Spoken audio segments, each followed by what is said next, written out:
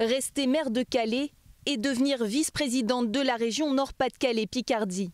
Voilà la décision qu'a prise Natacha Bouchard ce matin. En contrepartie, elle a décidé de quitter son fauteuil de sénatrice qu'elle occupait depuis 4 ans. Je, quitte ce mandat, euh, oui, avec euh, de la peine, euh, mais je sais que de nouveaux défis m'attendent à la région. Aujourd'hui, je suis déterminée, vous me connaissez. Si j'ai pris cette décision, c'est parce que je sais que j'aurai un rôle utile à la région, que les dossiers sont nombreux, qu'ils ont besoin d'être soutenus, défendus. Une décision qui a été saluée par beaucoup de Calaisiens. Moi je trouve que c'est tout à fait bien, il faut s'occuper de sa ville, surtout la ville de Calais qui est vraiment endommagée en ce moment.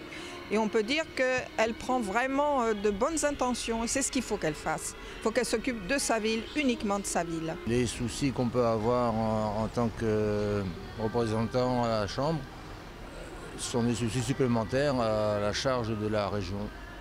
Donc à mon avis, c'est une très bonne chose. Natacha Bouchard sera donc aux côtés de Xavier Bertrand à la région. Elle assure qu'elle continuera à travailler sur la situation migratoire à Calais. Autre thème qui lui tient à cœur, développer la façade maritime et les ports, notamment celui de sa ville.